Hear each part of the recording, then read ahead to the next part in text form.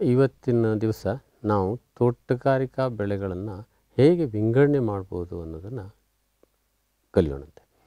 ಯಾವುದೇ ಒಂದು ವಿಷಯವನ್ನು ಅಭ್ಯಾಸ ಮಾಡುವಾಗ ಅವುಗಳನ್ನ ಸರಿಯಾಗಿ ವಿಂಗಡಣೆ ಮಾಡೋದು ಬಹಳ ಮುಖ್ಯ. ವಿಂಗಡಣೆ ಇಲ್ಲದೆ ಅಭ್ಯಾಸ ಮಾಡಿದಾಗ ನಮಗೆ ಅದನ್ನು ಸರಿಯಾಗಿ ಅರ್ಥ ಮಾಡ್ಕೊಳ್ಳೋದು ಕಷ್ಟ. ಈ ಕಾರಣದಿಂದ ನಾವು ಈ ತೋಟಗಾರಿಕೆ ಬೆಳೆಗಳನ್ನು, ಯಾಕೆಂದರೆ ಇದರಲ್ಲಿ ಸಾಕಷ್ಟು ಬೆಳೆಗಳಿದ್ದಾವೆ ಇವುಗಳನ್ನು ಬೇರೆ ಬೇರೆಯಾಗಿ ವಿಂಗಡಣೆ ಮಾಡಿಕೊಂಡು ಮಾಡೋದು ಹೇಗೆ ಅನ್ನೋದನ್ನು ಕಲಿಯೋಣಂತೆ ಇದಕ್ಕೆ ವಿಂಗಡಣೆ ಮಾಡಲಿಕ್ಕೆ ಸಾಕಷ್ಟು ಒಂದು ಪದ್ಧತಿಗಳಿವೆ. ಇದರಲ್ಲಿ ಮೊದಲನೇದಂದರೆ ಶಾಸ್ತ್ರೀಯ ವಿಧಾನ ಅಂದರೆ ಅಂದರೆ ವೈಜ್ಞಾನಿಕವಾದಂಥ ವಿಧಾನ. ಇದನ್ನು ಯಾವ ಆಧಾರಕ್ಕೆ ಇದ್ದರೆ ಆ ಪ್ರತಿಯೊಂದು ಗಿಡಗಳು ಎಷ್ಟು ಸಾಮೀಪ್ಯವನ್ನು ಹೊಂದಿವೆ, ಎಷ್ಟು ಅವು ಹತ್ತಿರ ಇದ್ದಾವೆ, ಹಾಗೆ ಎಷ್ಟು ಒಂದು ಗಿಡದಿಂದ ಇನ್ನೊಂದು ಗಿಡ ಎಷ್ಟು ಅವು ವ್ಯತ್ಯಾಸ ಇದೆ ಅನ್ನೋದನ್ನು, ಇವೆರಡು ಸಾಮೀಪ್ಯತೆ ಮತ್ತು ವ್ಯತ್ಯಾಸಗಳನ್ನು ಒಂದು ಅನುಸರಿಸ್ಕೊಂಡು ಈ ಒಂದು ವಿಂಗಡಣಾ ಪದ್ಧತಿ ರೂಪುಗೊಂಡಿದೆ. ಇದರಲ್ಲಿ ಏನು ಮಾಡ್ತೀವಿ ಕೇಳಿದ್ರೆ ಪ್ರತಿಯೊಂದು ಈ ಉದಾಹರಣೆ, ಪ್ರಾಣಿ ಮತ್ತು ಸಸ್ಯಗಳನ್ನು ಎರಡು ಭಾಗವಾಗಿ ಮಾಡ್ತೀವಿ. ಪ್ರಾಣಿಗಳು ಒಂದು ಗುಂಪು ಸಸ್ಯಗಳು ಗುಂಪು. ಆ ಸಸ್ಯಗಳಲ್ಲಿ ಮತ್ತೆ ಅವುಗಳನ್ನು ಹೂ ಬಿಡುವಂಥ ಸಸ್ಯಗಳು ಮತ್ತು ಹೂ ಬಿಡದೇ ಇರುವಂಥ ಸಸ್ಯಗಳು ಅಂತೇಳಿ. ಅದಾದ ನಂತರ ಏನು ಮಾಡ್ತೀವಿ? ಇವುಗಳಲ್ಲಿ ಹೂ ಬಿಡುವಂಥ ಸಸ್ಯಗಳಲ್ಲಿ ಅವುಗಳನ್ನು ಡೈಕಾಟ್ಸ್ ಟು ಮನ, ಡೈ, ಮೊನೋಕಾಟ್ಸ್ ಅಂತ ಅಂದರೆ ಏಕದಳ ಸಸ್ಯಗಳು ಮತ್ತು ದ್ವಿದಳ ಸಸ್ಯಗಳು ಅಂತ ಮಾಡ್ತೀವಿ. ಇವುಗಳ ನಂತರ ಅವುಗಳನ್ನು ಪ್ರತಿಯೊಂದುಗಳನ್ನು ಬೇರೆ ಬೇರೆ ಒಂದು ಕುಟುಂಬದಲ್ಲಿ ಅವುಗಳನ್ನು ವಿಂಗಡಿಸ್ತೀವಿ.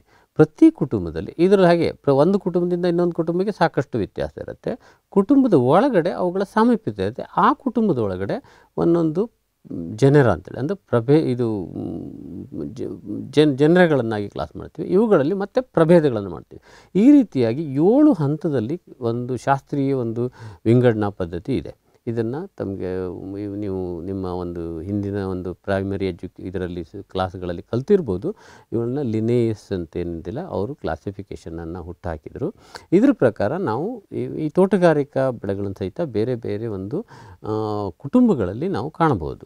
ಉದಾಹರಣೆಗೆ ನಾವು ಒಂದು ಒಂದು ಉದಾಹರಣೆಯಾಗಿ ತಗೊಂಡು ಮಾವನ್ನು ಮಾವು ತಗೊಂಡ್ರೆ ಮಾವು ಒಂದು ಅನಕಾರ್ಡಿಯೇಸಿ ಹೇಳುವಂಥ ಕುಟುಂಬಕ್ಕೆ ಸೇರುತ್ತೆ. ಇದನ್ನು ಇದರ ಶಾಸ್ತ್ರೀಯವಾದಂಥ ಹೆಸರು ಮ್ಯಾಂಜಿಫೆರಾ ಇಂಡಿಕಾ ಅಂತೇಳಿ. ಇನ್ನು ಗೋಡಂಬಿ ತಗೊಂಡಂತೆ ಇದು ಅದೇ ಕುಟುಂಬಕ್ಕೆ ಸೇರಿದೆ. ಅನಕಾರ್ಡಿಯಸಿ ಕುಟುಂಬಕ್ಕೆ ಸೇರಿದೆ. ಅಂದರೆ ಅನಕಾರ್ಡಿಯಂ ಆಕ್ಸಿಡೆಂಟೇಲ್ ಅಂತೇಳಿ. ಅನಕಾರ್ಡಿಯಂ ಮತ್ತು ಮ್ಯಾಂಜಿಫೆರಾಳಂತೂ ಎರಡು, ಜನರಗಳು. ಇವು, ಇವುಗಳಲ್ಲಿ ಬೇರೆ ಬೇರೆ ಇದು. ಆದರೆ ಇಲ್ಲಿ ಒಂದು ಪ್ರಾ ತೊಂದರೆ ಏನು ಕೇಳಿದರೆ ಇವೆರಡು ಒಂದೇ ಕುಟುಂಬಕ್ಕೆ ಸೇರಿದಂಥ ಗಿಡಗಳು, ಆದರೆ ತುಂಬ ವ್ಯತ್ಯಾಸ. ಇವುಗಳನ್ನು ಬೆಳೆಯುವಂಥದ್ರಲ್ಲೂ ವ್ಯತ್ಯಾಸ, ಅಥವಾ ಇವುಗಳನ್ನು ಹೇಗೆ ಉಪಯೋಗಿಸ್ತೀವಲ್ಲ ಅದರಲ್ಲೂ ವ್ಯತ್ಯಾಸ. ಒಂದು ಹಣ್ಣಿನ ಬೆಳೆ, ಇನ್ನೊಂದು ಪ್ಲಾಂಟೇಷನ್ ಬೆಳೆ ಆಗುತ್ತೆ. ಅದೇ ರೀತಿ ತರಕಾರಿಗಳು ತಗೊಂಡ್ರೆ, ಉದಾಹರಣೆಗೆ ತರಕಾರಿಯಲ್ಲಿ ಆಲೂಗಡ್ಡೆ. ಆಲೂಗಡ್ಡೆ ಅಥವಾ ಟೊಮ್ಯಾಟೊ ಅಥವಾ ಬದನೆ, ಇವೆಲ್ಲ ಒಂದೇ ಕುಟುಂಬಕ್ಕೆ ಸೇರುತ್ತೆ. ಅದೇ ಸೊಲನೇಸಿ ಅಂತೇಳಿ ಸೊಲನೇಸಿ ಅಂತೇಳಿ. ಇದರಲ್ಲಿ ಆಲೂಗಡ್ಡೆ ಗಡ್ಡೆ ಉಪಯೋಗಕ್ಕೆ ಬರುತ್ತೆ. ಟೊಮ್ಯಾಟೊ ಮತ್ತು, ಟೊಮ್ಯಾಟೊ ಹಣ್ಣಾಗೂ ಉಪಯೋಗಿಸ್ಬೋದು. ಬದನೆಯನ್ನು ಎಳ್ತಿದ್ದಂತೆ ಉಪಯೋಗಿಸ್ಬೋದು. ಕಾಯನ್ನು ಉಪಯೋಗಿಸ್ಬೋದು. ಈ ರೀತಿ ಒಂದೇ ಕುಟುಂಬದಲ್ಲಿರ್ತವೆ, ಆದರೆ ಬೇರೆ ಬೇರೆ ರೀತಿಯಲ್ಲಿ ಉಪಯೋಗ ಆಗುತ್ತೆ. ಕೆಲವೊಂದು ಸಾರಿ ಇದೇ ಕುಟುಂಬದಲ್ಲಿ, ಇದೇ ಸೊಲನೇಸಿ ಕುಟುಂಬದಲ್ಲಿರುವಂತಹ ಕೆಲವು ಗಿಡಗಳು ನಮಗೆ ಔಷಧಿ ಗಿಡಗಳು, ಉದಾಹರಣೆಗೆ ಅಶ್ವಗಂಧ. ಇದು ಸೊಲನೇಸಿ ಕುಟುಂಬದಲ್ಲೇ ಬರುತ್ತೆ, ಅಶ್ವಗಂಧ. ಇದು, ಔಷಧಿ ಗುಣಗಳನ್ನು ಹೊಂದಿದೆ. ಇನ್ನೂ ಕೆಲವು ಎಕ್ಸಾಂಪಲ್ ತಗೊಳ್ಳು. ಅಂದರೆ ಉದಾಹರಣೆಗೆ ರೋಸೇಸಿ ಅಂತ ಒಂದು ಕುಟುಂಬ ಇದೆ. ಈ ರೋಸೇಸಿ ಕುಟುಂಬದಲ್ಲಿ ಏನಿದೆಯಲ್ಲ, ರು- ಗುಲಾಬಿನೂ ಇದರಲ್ಲೇ ಬರುತ್ತೆ, ಸೇಬು ಹಣ್ಣು ಬರುತ್ತೆ. ಸೊ ಇದು ಆದರೆ ಅವು ಎರಡುಗಳಿಗೆ ಸಾಮೀಪ್ಯತೆ ಹೆಚ್ಚಿಗೆ ಇದೆ. ನಾವು ಶಾಸ್ತ್ರೀಯ ವೈಜ್ಞಾನಿಕವಾಗಿ ನೋಡಿದಾಗ. ಸೊ ಈ ವೈಜ್ಞಾನಿಕವಾದಂತಹ ಏನು ವಿಂಗಡಣೆ ಇದೆಯಲ್ಲ, ಇದು ಎಲ್ಲಿ ಉಪಯೋಗ ಆಗುತ್ತೆ ಕೇಳಿದರೆ, ನಾವು ಯಾವುದೇ ಒಂದು ಸಸ್ಯಗಳನ್ನು ಶಾಸ್ತ್ರೀಯವಾಗಿ ಅಭ್ಯಾಸ ಮಾಡಬೇಕಲ್ಲ, ಆ ಸಮಯದಲ್ಲಿ ಇದು ಬಹಳ ಉಪಯೋಗ ಆಗುತ್ತೆ. ಸೊ ಮುಖ್ಯವಾದಂಥ ಏನು ಕುಟುಂಬಗಳು ಇಲ್ಲಿ ಯಾವುದ್ಯಾವುದು ಕೇಳಿದ್ರೆ ಒಂದು ಹೇಳಿದ್ನಲ್ಲ ರೋಸೇಸಿ ಅಂತೇಳಿ. ಇದರಲ್ಲಿ ಎಲ್ಲ ಒಂದು ಪ್ರಮುಖವಾದಂತಹ ಆ, ಶೀತ ವಲಯದ ಹಣ್ಣುಗಳು ಇದರಲ್ಲಿ ಬರ್ತವೆ. ಕೆಲವೊಂದು ಏನು ನಟ್ಸ್ ಅಂತೀವಲ್ಲ, ಅವುಗಳು ಇದೇ ಕುಟುಂಬದಲ್ಲಿ ಬರುತ್ತೆ. ಇನ್ನೊಂದು ಯಾವುದು ಕೇಳಿದ್ರೆ ಈ ಸೊಲನೇಸಿ ಅಂತ ಏನಿದೆಯಲ್ಲ, ಸೊಲನೇಸಿ ಅಂತೇಳಿ ಇದು ಹಾಗೆ, ಇದು ಸಾಕಷ್ಟು ತರಕಾರಿಗಳು ಮತ್ತು ಔಷಧಿ ಗಿಡಗಳನ್ನು ಕೂಡ್ಕೊಂಡಿದೆ. ಕೆಲವು ಹೂವಿನ ಗಿಡಗಳನ್ನು ಕೂಡ್ಕೊಂಡಿದೆ. ಆಮೇಲೆ ಇನ್ನೊಂದು ಮುಖ್ಯವಾದಂಥ ಕುಟುಂಬ ಅಂದರೆ ಆಸ್ಟ್ರೇಸಿ ಅಂತೇಳಿ. ಈ ಆಸ್ಟ್ರೇಸಿಯಲ್ಲಿ ಸ ಸೂರ್ಯಕಾಂತಿಯಿಂದ ಹಿಡಿದು ಆಸ್ಟರಿಂದ ಹಿಡಿದು ಜರ್ಬರ, ಸೇವಂತಿಗೆ ಇವೆಲ್ಲ ಕೆಲವೊಂದು ಈವನ್ ಔಷಧಿ ಗಿಡಗಳು ಸಹಿತ ಇದರಲ್ಲಿ ಬರುತ್ತೆ. ಸೊ ಹೀಗೆ ಸಾಕಷ್ಟು ಕುಟುಂಬಗಳು, ಲ್ಯಾಮಿಯಸಿ ಇದೆ, ಆಮೇಲೆ ಅಂಬೆಲಿಫೆರ್ ಅಂತ ಏನಿದೆಯಲ್ಲ ಆ ಎಲ್ಲ ಒಂದು ಬೀಜದ ಸಾಂಬಾರು ಪದಾರ್ಥಗಳು ಇದರಲ್ಲಿ ಸೇರ್ತವೆ. ಈ ರೀತಿಯಾಗಿ ಸ, ಗಿಡಗಳನ್ನು ಶಾಸ್ತ್ರೀಯವಾಗಿ ಒಂದು ವಿಂಗಡಣೆ ಮಾಡ್ಬೋದು. ಮೊದಲು ಹೇಳಿದಂತೆ ಇದು ನಾವು ಯಾರು ರೈತರಿಗಾಗಲಿ ಅಥವಾ ಇದನ್ನು ಬೆಳೆಯುವಂಥ ಸಂ, ವಿಷಯ ಸಂಬಂಧದಲ್ಲಿ ಇದು ಬಹಳ ಉಪಯೋಗ ಆಗೋದಿಲ್ಲ.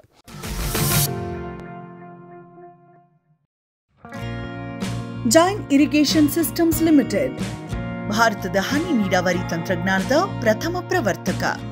ಜಗತ್ತಿನ ಅತಿ ದೊಡ್ಡ ಸ್ಪ್ರಿಂಕ್ಲರ್ಸ್ ಉತ್ಪಾದಕ ಕಂಪನಿ. ಸಂರಕ್ಷಿತ ಕೃಷಿಯಲ್ಲಿ ಹಸಿರು ಮನೆಗಾಗಿ ಮಿಸ್ಟರ್ ಫಾಗರ್, ಫ್ಯಾನ್ ಮತ್ತು ಪ್ಯಾಡ್ ಹಾಗೂ ನೆರಳು ಮನೆ. ಸ್ವಯಂಚಾಲಿತ ನೀರಾವರಿ ವ್ಯವಸ್ಥೆ ಮತ್ತು ರಸಾವರಿ ತಂತ್ರಜ್ಞಾನ. ಕೃಷಿಯಲ್ಲಿ ನೀರಿನ ಸಮರ್ಪಕ ಬಳಕೆ ಹಾಗೂ ಉಳಿತಾಯಕ್ಕೆ ಮತ್ತೊಂದು ಹೆಸರು ಜೈನ್ ಕ್ಯಾಡ್ಬರಿ ಚಾಕ್ಲೇಟಿನ ಮೂಲ ಅಂಶ ಕೋಕೋ. ನಿಮ್ಮ ಆದಾಯ ದ್ವಿಗುಣಕ್ಕೆ ಕೋಕೋ ಒಂದು ಉತ್ತಮ ಬೆಳೆ. ಅಂತರ ಬೆಳೆ ಏಕ ಬೆಳೆಯಾಗಿ ಕರ್ನಾಟಕದೆಲ್ಲೆಡೆ ಕೋಕೋ ಬೆಳೆಯಬಹುದು. ಹೈಬ್ರಿಡ್ ಎಫ್ ಒನ್ ಗಿಡಗಳ ಪೂರೈಕೆ ಮತ್ತು ಕೋಕೋ ಬೀಜ ಖರೀದಿ ಕ್ಯಾಡ್ಬರಿಯಿಂದ ಲಕ್ಷಾಂತರ ಎಕರೆ ಬೆಳೆ ವಿಸ್ತರಣೆಗೆ ಇದೇ ಅವಕಾಶ. ಈ ಸದಾವಕಾಶವನ್ನ ಸದ್ಬಳಕೆ ಮಾಡಿಕೊಳ್ಳಿ.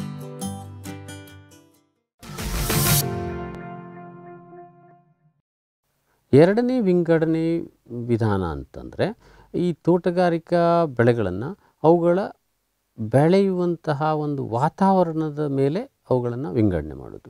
ಸೊ ಇದನ್ನು ಇದರಲ್ಲಿ ಎರಡು ರೀತಿ ಮಾಡ್ಬೋದು. ಒಂದು ಬಹುವಾರ್ಷಿಕ, ಒಂದು ಗಿಡಗಳನ್ನು ಅಥವಾ ಸಸ್ಯಗಳನ್ನು ವಿಂಗಡಣೆ ಮಾಡೋದು. ಒಂದು ಶೀತೋಷ್ಣ, ಶೀತ ವಲಯದಲ್ಲಿ ಬೆಳೆಯುವಂತಹ ಗಿಡಗಳು. ಸೊ ಟೆಂಪ್ರೇಟ್ ಕ್ರಾಪ್ಸ್ ಅಂತೀವಿ. ಸೊ ಇದು ಮುಖ್ಯವಾಗಿ ಇದು ಹಣ್ಣಿನ ಬೆಳೆಗಳಿಗೆ ಸಂಬಂಧಪಡ್ತದೆ. ಸೊ ಸೇಬು ಇರ್ಬೋದು ಪಿಯರ್ ಇರ್ಬೋದು ಪ್ಲಮ್ ಇರ್ಬೋದು ಪೀಚ್ ಇರ್ಬೋದು ಓಲಿವ್ ವಾಲ್ನಟ್ ಇವೆಲ್ಲ ಗಿಡಗಳು ಶೀತ ಶೀತ ವಲಯದ ಹಣ್ಣುಗಳು. ಸೊ ಇಲ್ಲಿ ಏನು ಕೇಳಿದರೆ ಈ ಗಿಡಗಳನ್ನು ಬೆಳಿಬೇಕಂತಾದರೆ ಆ ಅವುಗಳ ಬೆಳೆಯುವಂತಹ ಒಂದು ಸಮಯದಲ್ಲಿ ಕನಿಷ್ಠ ಒಂದು ತಿಂಗಳು, ಒಂದೂವರೆ ತಿಂಗಳಿನಷ್ಟು ದಿವಸ ಉಷ್ಣ ತಾಪಮಾನ ಐದು ಡಿಗ್ರಿಗಿಂತ ಐದು ಡಿಗ್ರಿ ಸೆಲ್ಸಿಯಸ್ಗಿಂತ ಕಡಿಮೆ ಇರಬೇಕು. ಸೊ ಆವಾಗ ಅಷ್ಟೇ ಅವುಗಳು ಅಥವಾ ಒಂದು ಸುಪ್ತಾವಸ್ಥೆಗೆ ಹೋಗಿ ತಿರುಗಿ ಉಷ್ಣತೆ ಯಾವಾಗ ಹೆಚ್ಚಾಗುತ್ತಲ್ಲ ಅವು ಹೂ ಬಿಡ್ತವೆ. ಹೂ ಬಿಡಲಿಕ್ಕೆ ಈ ಒಂದು ಚಿಲ್ಲಿಂಗ್ ಟೆಂಪ್ರೇಚರ್ ಅಂತಾರೆ. ಟಿಲ್ಲಿಂಗ್ ಉಷ್ಣ, ಉಷ್ಣತಾಮಾನ ಬೇಕೇ ಬೇಕು. ಇನ್ನು ಎರಡನೇ ಒಂದು ಇದಕ್ಕೆ ವಿರುದ್ಧವಾದಂತಹ ಇನ್ನೊಂದು ಏನು ವಿಂಗ್, ಪಂಗ್, ಪಂಗಡ ಏನಿರುತ್ತಲ್ಲ, ಏನು ಒಂದು ಗುಂಪಿದೆಯಲ್ಲ, ಅದು ಉಷ್ಣವಲಯದ ಹಣ್ಣು ಗಿಡಗಳು ಅಂತೇಳಿ. ಉಷ್ಣವಲಯದ ಗಿಡಗಳು ಅಂದರೆ ಇವುಗಳಿಗೆ ಯಾವ ಸ್ವಲ್ಪವೂ ಕಡಿಮೆ ತಾಪಮಾನವನ್ನು ತಡ್ಕೊಳ್ಳುವಂಥ ಶಕ್ತಿ ಇರಲ್ಲ. ಅವು ಏನು ಕೇಳಿದರೆ ಸ್ವಲ್ಪ ಸು- ಹತ್ತು ಡಿಗ್ರಿಗಿಂತ ಕಡಿಮೆ ಉಷ್ಣಮಾನಕ್ಕೆ ಹೋದವು ಅಂದರೆ ಅವು ಇದೇ ಚಿಲ್ಲಿಂಗ್ ಇಂಜುರಿಯಾಗಿ ಚಿಲ್ಲಿಂಗ್ ತೊಂದರೆಯಿಂದ ಸಾಯ್ತವೆ ಅಥವಾ ಅವುಗಳು ಬೆಳವಣಿಗೆ ಕುಂಠಿತ ಆಗುತ್ತೆ ಆದ್ದರಿಂದ ಇವುಗಳನ್ನು ಓನ್ಲಿ ಸಮಶೀತೋಷ್ಣ, ಅಲ್ಲ ಉಷ್ಣವಲಯ ಅಂದರೆ ಮಧ್ಯರೇಖೆಯಲ್ಲ ಭೂಮಧ್ಯ ರೇಖೆ ಇದೆಯಲ್ಲ, ಅದರ ಎರಡೂ ಪಕ್ಕದಲ್ಲಿ ಬೆಳೆಯುವಂಥ ಬೆಳೆಗಳು ಸೊ ಇದರಲ್ಲಿ ಪಪಾಯ ಬರುತ್ತೆ, ಬಾಳೆ ಬರುತ್ತೆ ಪೈನಾಪಲ್ ಬರುತ್ತೆ, ಆಮೇಲೆ ಎಲ್ಲ ಪ್ಲ್ಯಾಂಟೇಷನ್ ಬೆಳೆಗಳು, ಇವೆಲ್ಲ ಪ್ಲ್ಯಾಂಟೇಷನ್ ಬೆಳೆಗಳು ಈ ಒಂದು ಒಂದು ಪ್ರದೇಶದಲ್ಲಿ ಬೆಳೀತವೆ. ಇನ್ನು ಮೂರನೇದು ಕೇಳಿದ್ರೆ ಇವೆರಡರ ಮಧ್ಯದಲ್ಲಿ. ಅಂದರೆ ಸಮಶೀತೋಷ್ಣ ವಲಯದಲ್ಲಿ ಬೆಳೆಯುವಂತಹ ಬೆಳೆಗಳು. ಇದಕ್ಕೆ ಉದಾಹರಣೆ ಯಾವುದು ಕೇಳಿದರೆ, ಉದ, ಇಲ್ಲಿ ಈ ಸಮಶೀತೋಷ್ಣ ವಲಯದ ಪರಿಸ್ಥಿತಿ ಹೇಗಿರುತ್ತೆ ಕೇಳಿದರೆ, ಬೇಸಿಗೆಯಲ್ಲಿ ಉಷ್, ತಾಪಮಾನ ಬಹಳ ಹೆಚ್ಚಾಗಿರುತ್ತೆ. ಅದೇ ರೀತಿ ಚಳಿಗಾಲದಲ್ಲಿ ತಾಪಮಾನ ಅತಿ ಕಡಿಮೆ ಆಗಿರುತ್ತೆ. ಅಂದರೆ ಒಂದು ಎರ ಇವ ಮೈನಸ್ವರೆಗೂ ಹೋಗ್ಬೋದು, ಅಥವಾ ಎರಡು ಮೂರು ಡಿಗ್ರೀಸಲ್ಲಿ ಸಾಮಾನ್ಯವಾಗಿರುತ್ತೆ. ಬೇಸಿಗೆ ಟ ತಾಪಮಾನ ಇದೆಲ್ಲ ಐವತ್ತರವರೆಗೂ ಹೋಗ್ಬೋದು. ಈ ಪ್ರದೇಶದಲ್ಲಿ ಇನ್ನೂ ಒಂದು ಕೆಲವೊಂದು ಏನು ಕೇಳಿದರೆ ಚಳಿಗಾಲ ಮತ್ತು ಬೇಸಿಗೆಗಾಲನ್ನು ಕರೆಕ್ಟ್ ಸರಿಯಾಗಿ ಗುರುತಿಸ್ಬೋದು. ಚಳಿಗಾಲ ಮತ್ತು ಬೇಸಿಗೆಗಾಲನ ಗುರುಸುವಂಥ ಪ್ರದೇಶಗಳಲ್ಲಿ ಸಮಶೀತೋಷ್ಣ ವಲಯ ಅಂತಾರೆ ಅಥವಾ ಮೆಡಿಟರೇನಿಯನ್ ವಾತಾವರಣ ಅಂತೀವಲ್ಲ ಅಂತಲ್ಲಿ ಇದು ಈ ಕಿತ್ತಳೆ ಜಾತಿಗೆ ಸೇರಿದ ಹಣ್ಣುಗಳೆಲ್ಲ, ಆಮೇಲೆ ದ್ರಾಕ್ಷಿ, ದಾಳಿಂಬೆ ಅಥವಾ ಬಾರೆ ಇವೆಲ್ಲ ಈ ಈ ಪೇರಲ ಸಹಿತ ಅದೇ ವಾತಾವರಣಕ್ಕೆ ಹೊಂದ್ಕೊಳ್ಳುತ್ತೆ. ಇವೆಲ್ಲ ಸಮಶೀತೋಷ್ಣ ವಲಯದಲ್ಲಿ ಬೆಳೆಯುವಂತಹ ಈ ಮಧ್ಯಂತರದ ಬೆಳೆಗಳು. ಇದು ಬಹುವಾರ್ಷಿಕ ಬೆಳೆಗಳಿಗೆ ಒಂದು ಸಂಬಂಧಿಸಿದಂಥ ವಿಂಗಡಣೆ. ಇದೇ ತರಕಾರಿ ಅಥವಾ ಹೂವಿನ ಬೆಳೆಗಳಿಗೆ ಸಂಬಂಧಪಟ್ಟಂತೆ ನಾವೇನು ಮಾಡ್ತೀವಿ ಕೇಳಿದ್ರೆ ತಂಪು ವಾತಾವರಣದ ಬೆಳೆಗಳು ಮತ್ತು ಬೆಚ್ಚನೆ ವಾತಾವರಣದ ಬೆಳೆಗಳು ಅಂತೇಳಿ ಅಂದರೆ ಈಗ ಟೊಮ್ಯಾಟೊ ಇರ್ಬೋದು, ಬದನೆ ಇರ್ಬೋದು, ಮೆಣಸಿನ್ಕಾಯಿ ಇರ್ಬೋದು, ಇವೆಲ್ಲ ವಾಮ್ ಸೀಸನ್ ಅಂತೇಳಿ ಅಂದರೆ ಬೆಚ್ಚಗಿನ ವಾತಾವರಣದಲ್ಲಿ ಬೆಳಿಬೋದಂಥ ಬೆಳೆಗಳು. ಇನ್ನು ಕ್ಯಾಬೇಜ್ ಇರ್ಬೋದು, ಕಾಲಿಫ್ಲವರ್ ಇರ್ಬೋದು, ನೋಲ್ಕೋಲ್ ಇರ್ಬೋದು ಅಥವಾ ಇವ, ಉಳ್ಳಾಗಡ್ಡಿ ಇರ್ಬೋದು, ಇವೆಲ್ಲ ಏನು ಕೇಳಿದರೆ ಕೂಲ್ ಸೀಸನ್ ಅಂತೇಳಿ. ಅಂದರೆ ಸ್ವಲ್ಪ ತಂಪು ವಾತಾವರಣದಲ್ಲಿ ಬೆಳೆಯುವಂಥ ಬೆಳೆಗಳು ಅಂತೇಳಿ. ಇದೇ ರೀತಿ ನಾವು ಹೂವಿನ ಬೆಳೆಗಳು ಏನು ಮಾಡ್ಬೋದು, ಕೆಲವೊಂದಕ್ಕೆ ಮಳೆಗಾಲದ ಹೂವಿನ ಬೆಳೆಗಳು ಅಂತೀವಿ ಉದಾಹರಣೆಗೆ ಬಾಲ್ಸಮ್ ಅಂತಾರೆ. ಇದನ್ನು ಮಳೆಗಾಲದಲ್ಲಿ ಹೆಚ್ಚಿನದಾಗಿ ಬೆಳಿಬೋದು. ಆಮೇಲೆ ಚಳಿಗಾಲದಲ್ಲಿ ಆ್ಯಂಟಿರಿನಮ್ ಅಂತ ಒಂದು ಬೆಳೆ ಇದೆ. ಇದು ಚಳಿಗಾಲದಲ್ಲಿ ಬೆಳೆಯುವಂಥದ್ದು.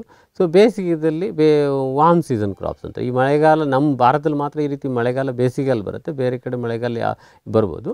ಸೊ ಈ ಬೇಸಿಗೆಗಾಲದಲ್ಲಿ ಬರುವ, ಮಳೆ, ಮಳೆಗಾಲದಲ್ಲಿ ಬರುವಂಥದ್ದೆಲ್ಲ ಹೆಚ್ಚಿನ ಬೆಳೆಗಳು ಬೇಸಿಗೆಯಲ್ಲೂ ಬರ್ತವೆ. ಈ ರೀತಿಯಾಗಿ ನಾವು ಬೆಳೆಗಳನ್ನು ಉಷ್ಣತಾಮಾನ ಮೇಲೆ ಸಹಿತ ಕ್ಲಾಸ್ ವಿಂಗಡಣೆ ಮಾಡ್ಬೋದು. ಇನ್ನೊಂದು ಮೂರನೇ ವಿಂಗಡಣೆ ಅಥವಾ ಮೂರನೇ ಒಂದು ಕ್ಲಾಸಿಫಿಕೇಷನ್ ಅಂತೀವಲ್ಲ, ಇದು ಏನು ಕೇಳಿದರೆ ಗಿಡಗಳ ಒಂದು ಬೆಳವಣಿಗೆಯ ರೀತಿಯನ್ನು ನೋಡಿಕೊಂಡು ವಿಂಗಡಣೆ ಮಾಡೋದು. ಇಲ್ಲಿ ನಾವೇನು ಮಾಡ್ಬೋದು ಗಿಡಗಳನ್ನು ಮುಖ್ಯವಾಗಿ ವಾರ್ಷಿಕ ಬೆಳೆಗಳು, ದ್ವೈವಾರ್ಷಿಕ ಬೆಳೆಗಳು ಮತ್ತು ಬಹುವಾರ್ಷಿಕ ಬೆಳೆಗಳನ್ನು ಕ, ವಿಂಗಡಣೆ ಮಾಡ್ಬೋದು. ದ್ವೈವ ವಾರ್ಷಿಕ ಬೆಳೆ ಅಂದರೆ ವಾರ್ಷಿಕ ಅನ್ನೋದಕ್ಕಿಂತ ಇದು ಒಂದು ಒಂದು ಸೀಸನ್ ಅಂತೀವಲ್ಲ, ಒಂದು ಒಂದು ಒಂದು ಕಾಲಕ್ಕಷ್ಟೇ ಸಂಬಂಧಪಟ್ಟಿದ್ದು. ಉದಾಹರಣೆಗೆ ಈ ಟೊಮ್ಯಾಟೊ ಇರ್ಬೋದು, ಅಥವಾ ಮೆಣಸಿನ್ಕಾಯಿ ಇರ್ಬೋದು, ಅಥವಾ ಆಸ್ಟರ್ ಇರ್ಬೋದು, ಇವೆಲ್ಲ ಹೇಗೆ ಕೇಳಿದ್ರೆ ಒಂದೇ ಒಂದು ಮೂರು ತಿಂಗಳಿರ್ಬೋದು ನಾಲ್ಕು ತಿಂಗಳಿರ್ಬೋದು ಒಂದೇ ಒಂದು ಕಾಲದಲ್ಲಿ ಅವು ತಮ್ಮ ಕಂ ಪೂರ್ತಿ ಬೆಳವಣಿಗೆಯನ್ನು, ಜೀವಮಾನವನ್ನು ಮುಗಿಸ್ತವೆ. ಅಂದರೆ ಬೀಜ ಬಿತ್ತಿದಾಗಿಂದ ಹಿಡಿದು ಬೀಜ ತಿರುಗಿ ಬರುವಲ್ಲಿವರೆಗೆ. ಅದು ಒಂದು ಲೈಫ್ ಸೈಕಲ್ ಅಥವಾ ಒಂದು ಜೀವಮಾನ ಅಂತೀವಲ್ಲ, ಅದನ್ನು ಮುಗಿಸ್ತವೆ. ಈ, ಇದಕ್ಕೆ ಸಾಕಷ್ಟು ನಮ್ಮ ಹಣ್ಣಿನ ಇದು ಹೂವಿನ ಬೆಳೆಗಳಿರ್ಬೋದು, ತರಕಾರಿ ಬೆಳೆಗಳು ಇದೇ ಒಂದು ವಿಂಗಡಣೆಯಲ್ಲಿ ಇದೇ ಒಂದು ಗುಂಪಿನಲ್ಲಿ ಸೇರ್ತವೆ. ಇನ್ನು ಇನ್ನು ಎರಡನೇ ಗುಂಪು ಅಂತಂದರೆ ದ್ವೈವಾರ್ಷಿಕ ಅಂತೇಳಿ, ಅಂದರೆ ಎರಡು ಸೀಸನ್ ಬೇಕು. ಇವಕ್ಕೆ ಒಂದು ಕಾಲದಲ್ಲಿ ಒಂದು ಕಾಲದಲ್ಲಿ ಅವು ಏನು, ದಿ, ಗಿಡಗಳ ಬೆಳವಣಿಗೆಗೆ ವ್ಯಯಿಸ್ತವೆ ಇನ್ನು ಮಧ್ಯದಲ್ಲಿ ಒಂದು ಸ್ವಲ್ಪ ದಿವಸ ಅವು ಸುಪ್ತಾವಸ್ಥೆಗೆ ಹೋಗ್ತವೆ. ಆಮೇಲೆ ಏನು ಮಾಡ್ತವೆ ಅವು ಕೇಳಿದ್ರೆ ಹೂವನ್ನು ಬಿಡ್ತವೆ.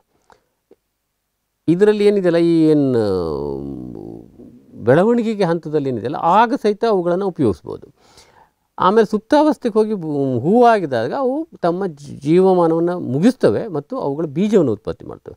ಇದಕ್ಕೆ ಉದಾಹರಣೆಗಳಂದರೆ ಕ್ಯಾಬೇಜು ಕಾಲಿಫ್ಲವರು, ಆಮೇಲೆ ಈರುಳ್ಳಿ, ಇವೆಲ್ಲ ಏನು ಕೇಳಿದರೆ ಎರಡು ಒಂದು ಕಾಲಮಾನವನ್ನು, ಎರಡು ಕಾಲವನ್ನು ತಗೋತವೆ. ಒಂದು ಮಳೆಗಾಲ ಇರ್ಬೋದು ಅಥವಾ ಇದು ಸ್ವಲ್ಪ ಹೆಚ್ಚಿನ ಉಷ್ಣತಮಾನ ಇರುವಂಥದ್ದು. ಮಧ್ಯದಲ್ಲಿ ಸ್ವಲ್ಪ ಚಳಿಗಾಲ ಬರುತ್ತೆ. ಅದಾದ ನಂತರ ಹೂ ಬರುತ್ತೆ. ಹೂವಾಗಿ ಬೀಜ ಆಗ್ತವೆ. ಸೊ ಈ ಕಾರಣದಿಂದಲೇ ಕ್ಯಾಬೇಜ್ ಅಥವಾ ಕಾಲಿಫ್ಲವರನ್ನು ನಾವು ದಕ್ಷಿಣ ಭಾರತದಲ್ಲಿ ಕೇವಲ ತರಕಾರಿಯಾಗಿ ಬೆಳಿಬೋದು. ಆದರೆ ಉತ್ತರ ಭಾರತದಲ್ಲಿ ಇವನ್ನು ತರಕಾರಿ ಬೆಳೆದು ಒಂದು ಸೀಸನ್ನು ಮುಂದಿನ ಚಳಿಗಾಲದ ನಂತರ ಅವನ್ನು ಬೀಜೋತ್ಪಾದನೆ ಮಾಡ್ಬೋದು. ಇದು ಮುಖ್ಯವಾದಂಥ, ಇವುಗಳಿಗೆ ಬೀಜೋತ್ಪಾದನೆ ಮಾಡಬೇಕಂದ್ರೆ ಅವನಿಗೆ ಎರಡು ಕಾಲದಲ್ಲಿ ಬೆಳಿಬೇಕಾಗತ್ತೆ. ಇದು ಎರಡನೇ ಒಂದು ವಿಂಗಡ ಎರಡನೇ ಒಂದು ಗುಂಪು. ಮೂರನೇ ಗುಂಪು ಅಂದರೆ ಬಹುವಾರ್ಷಿಕ ಬೆಳೆಗಳ ಗುಂಪು ಬಹುವಾರ್ಷಿಕ ಗಿಡಗಳು ಬಹುವಾರ್ಷಿಕ ಸಸ್ಯಗಳು ಅಂತೀವಿ. ಇದರಲ್ಲಿ ನಮ್ಮ ಹೆಚ್ಚಿನ ತೋಟಗಾರಿಕೆ ಇರ್ಬೋದು ಹಣ್ಣು ಇರ್ಬೋದು ಪ್ಲಾಂಟೇಷನ್ ಬೆಳೆಗಳಿರ್ಬೋದು ಇವೆಲ್ಲ ಬಹುವಾರ್ಷಿಕಗಳು ಈ ಬಹುವಾರ್ಷಿಕ ಬೆಳೆಗಳು ಸಹಿತ ನಾವು ಅವುಗಳನ್ನು ಗ್ರೋತ್ ಹ್ಯಾಬಿಟ್ ಅಂತೀವಿ. ಅಂದರೆ ಅವುಗಳನ್ನು ಹೇಗೆ ಬೆಳೀತವೆ ಅನ್ನೋದ್ರ ಮೇಲೆ ಮತ್ತೆ ಅವುಗಳನ್ನು ವಿಂಗಡಣೆ ಮಾಡ್ಬೋದು. ಒಂದು ಏನು ಕೇಳಿದರೆ ಶ್ರಬ್ಸ್ ಅಂತೀವಿ. ಶ್ರಬ್ಸ್ ಅಂದರೆ ಪೊದೆಯಾಕಾರದ ಗಿಡಗಳು ಅಂತ ಇವೇನಿದೆ ಕೇಳಿದರೆ, ಇವು, ಇವುಗಳ ಕಾಂಡ ಗಟ್ಟಿಯಾಗಿರುತ್ತೆ.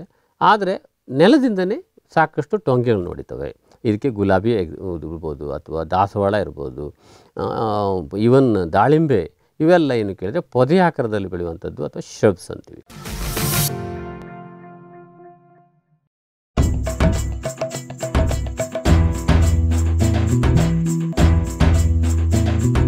ಕೃಷಿ ಪ್ರಗತಿ ಸಾಕಾರವಾಯಿತು.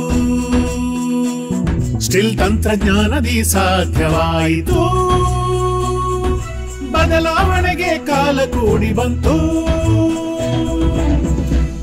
ಸ್ಟಿಲ್ ಉಪಕರಣಗಳು ತನ್ನಿ ಪರಿವರ್ತನೆ.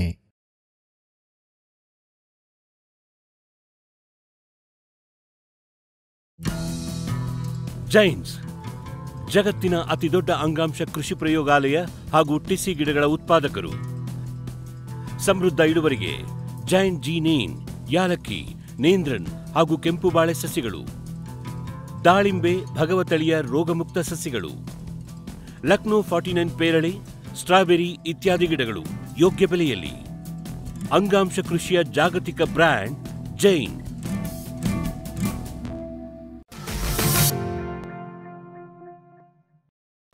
ಇನ್ನು ಮರಗಳು.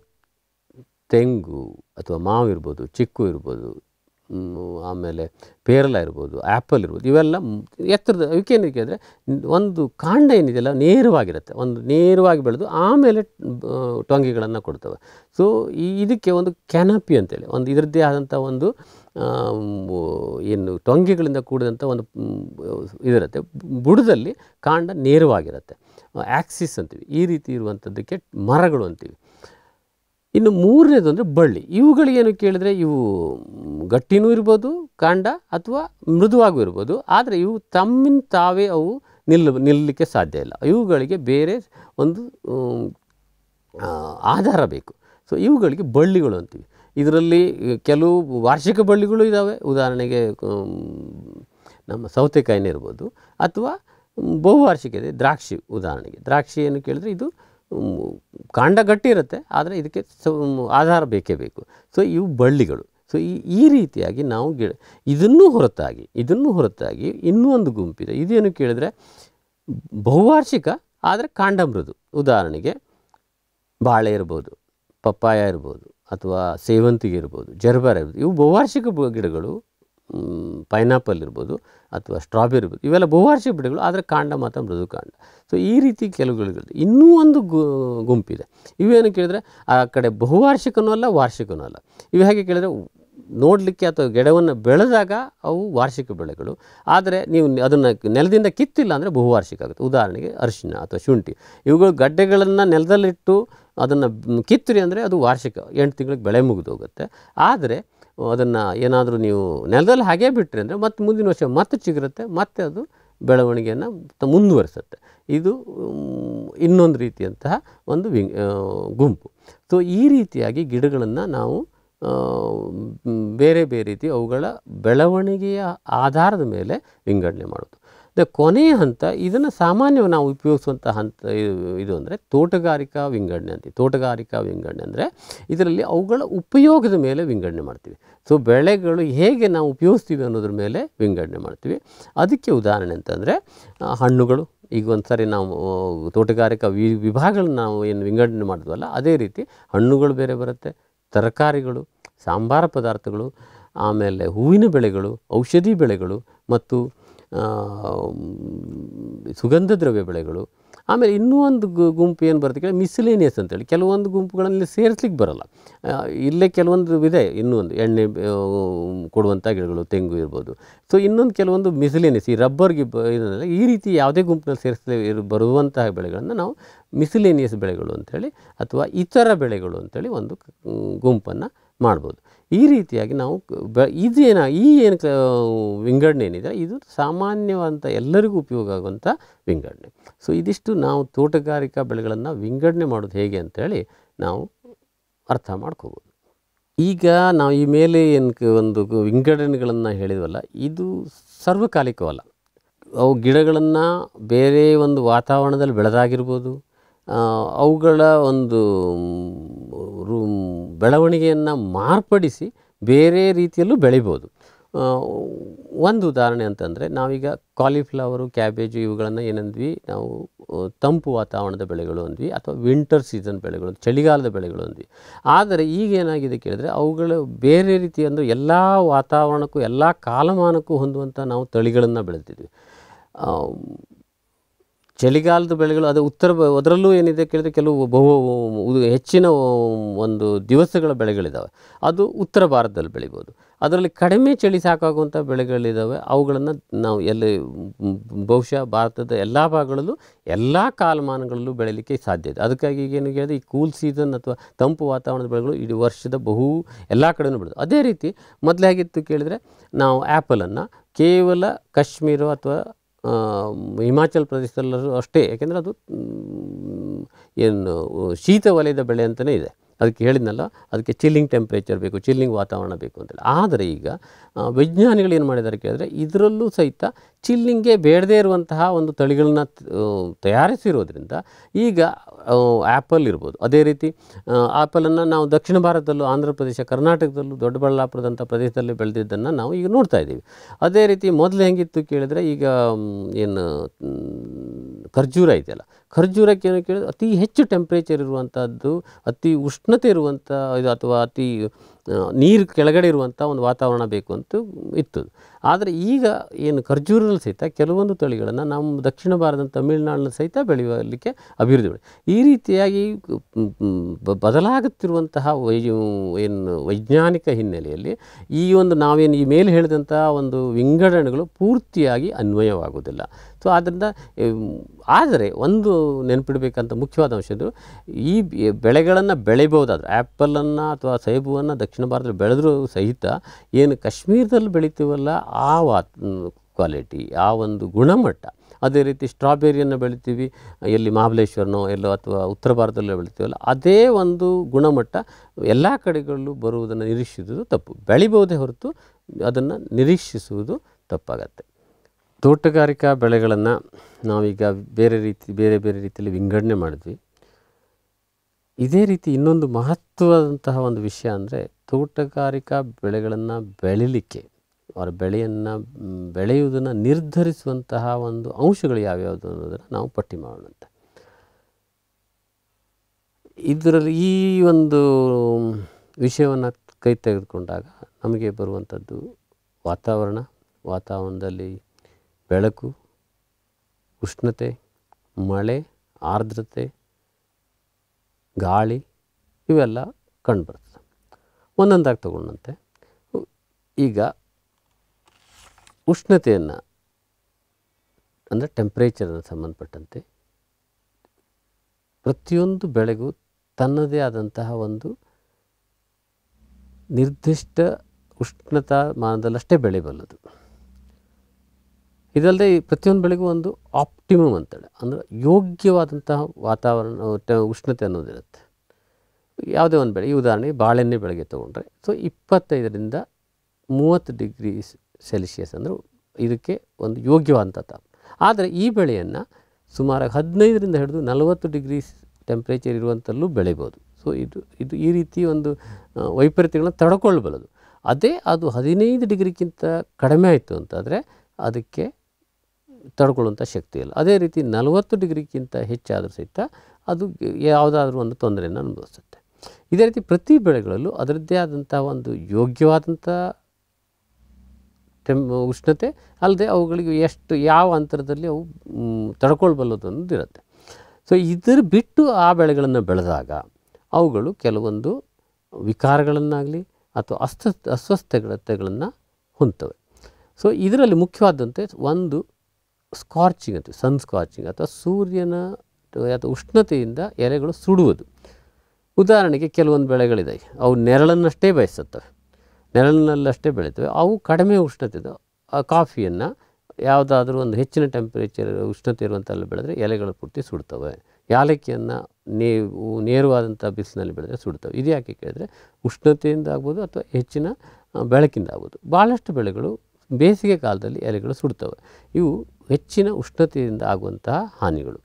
ಅದೇ ರೀತಿ ಉಷ್ಣತೆ ಕ ಟೆಂಪ್ ಏನು ವಾತಾವರಣದ ಉಷ್ಣತೆ ಕಡಿಮೆ ಆದಾಗ ಸಹಿತ ಚಿಲ್ಲಿಂಗ್ ಇಂಜುರಿ ಅಥವಾ ಫ್ರೀಸಿಂಗ್ ಇಂಜುರಿ ಅಥವಾ ಫ್ರಾಸ್ಟ್ ಇಂಜುರಿ ಅಂತ ಅಂದರೆ ಈ ಉಷ್ಣತೆ ಕಡಿಮೆ ಆದಾಗ ನೇರವಾಗಿ ಏನು ಬೀಳುವಂತಹ ಹಿಮ ಇರ್ಬೋದು ಅಥವಾ ಗಿಡದ ಒಳಗಿನ ನೀರು ಮಂಜುಗಡ್ಡೆಯಾಗಿ ಪರಿವರ್ತನೆಯಾಗಿ ಅವುಗಳ, ಏನು, ಕೋಶಗಳು ಒಡೆದು ಅವುಗಳಿಗೆ ಗಿಡಗಳಿಗೆ ತ- ಹಾನಿಯಾಗತ್ತೆ, ಗಿಡಗಳು ಸಾಯಲೂಬೋದು. ಸೊ ಇದು ಉಷ್ಣತೆಯಿಂದ ಆಗುವಂಥ ಹಾನಿ. ಇನ್ನೊಂದು ಕೆಲವೊಂದು ಕಡೆಗಳಲ್ಲಿ ಏನಾಗುತ್ತೆ, ಈ ಏನು ಉಷ್ಣತೆ ಹೆಚ್ಚಾದಾಗ ಈವನ್ ಹಣ್ಣುಗಳು ಸಹಿತ ಸರಿಯಾಗಿ ಮಾಗದೆ ಅವುಗಳ ಬಣ್ಣ ಬದಲಾವಣೆ ಆಗುವಂಥ ಸಾಧ್ಯ. ಉದಾಹರಣೆಗೆ ದಾಳಿಂಬೆ. ದಾಳಿಂಬೆ ಏನು ಅಥವಾ ಬಾಳೆ, ಇವುಗಳ ಯಾ, ಹಣ್ಣುಗಳು ಬಿ, ಯಾವ ಭಾಗ ಬಿಸಿಲಿಗೆ ನೀರು ಅಥವಾ ಹೆಚ್ಚಿನ ಉಷ್ಣತೆಗೆ ಎದುರಾಗುತ್ತಲ್ಲ, ಅಲ್ಲಿ ಆ ಭಾಗ ಕಲಾಹೀನವಾಗಿ ಅಥವಾ ಬಣ್ಣಹೀನವಾಗಿ ಅವುಗಳು ಸರಿಯಾಗಿ ಮಾಗುವುದಿಲ್ಲ. ಈ ಕಾರ್ಯಕ್ರಮದ ಪ್ರಾಯೋಜಕರು ಜೈನ್ ಇರಿಗೇಷನ್ ಸಿಸ್ಟಮ್ಸ್ ಲಿಮಿಟೆಡ್. ಜಾಗತಿಕ ತುಂತುರು ಮತ್ತು ಹನಿ ನೀರಾವರಿ ಉಪಕರಣಗಳ ಉತ್ಪಾದಕರು, ಬೇಸಾಯ ತಂತ್ರಜ್ಞಾನ ನಿರೂಪಕರು ಹಾಗೂ ರೋಗರಹಿತ ಟಿಶ್ಯೂ ಕಲ್ಚರ್ ಗಿಡಗಳು, ಕ್ಯಾಡ್ಬರೀಸ್, ಕೋಕೋ ಬೆಳೆಸಿ, ಅಧಿಕ ಆದಾಯ ಗಳಿಸಿ ಹಾಗೂ ಸ್ಟಿಲ್ ಇಂಡಿಯಾ, ಸ್ಟಿಲ್ ಉಪಕರಣಗಳು ತನ್ನಿ ಪರಿವರ್ತನೆ.